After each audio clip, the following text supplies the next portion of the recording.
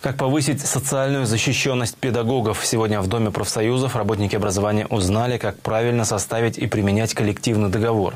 Семинар провел эксперт из Астаны. Подробнее в нашем следующем материале. Сегодня состоялся семинар для руководителей профсоюзных организаций. Совместно с Центром обучения, исследований и разрешения конфликтов Федерации профсоюзов Республики Казахстан. Предметом диалога стало социальное партнерство. Председатель областного профсоюза работников образования и науки Татьяна Самойлюк отмечает, что в каждой образовательной организации заключен коллективный договор. Таковых по области порядка 500. В каждом городе и районе заключено соглашение о социальном партнерстве. Соглашение о социальном партнерстве заключено также с областным управлением образования. И это все позволяет нам э, искать пути, формы и методы э, защиты, э, социально-экономической защиты, правовой защиты э, наших членов профсоюза.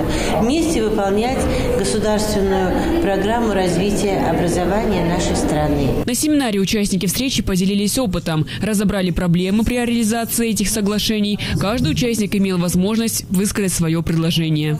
Мы будем делиться опытом, будем рассказывать о том, как заключаются соглашения, какие проблемы есть в выполнении этих соглашений, что бы мы хотели еще видеть. Директор Центра обучения, исследований и разрешения конфликтов Федерации профсоюзов Мирам Кажикен рассказал о значимости социального партнерства, на чем базируется генеральное и отраслевое соглашение, объяснил структуру коллективного договора и чем отличаются согласительная комиссия от примирительной и как разрешать трудовые споры.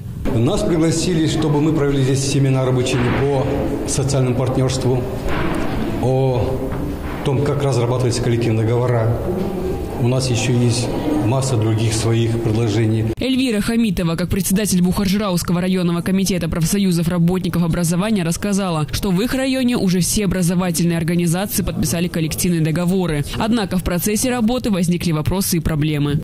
У нас вообще во всех общеобразовательных учреждениях уже э, как подписаны коллективные договора.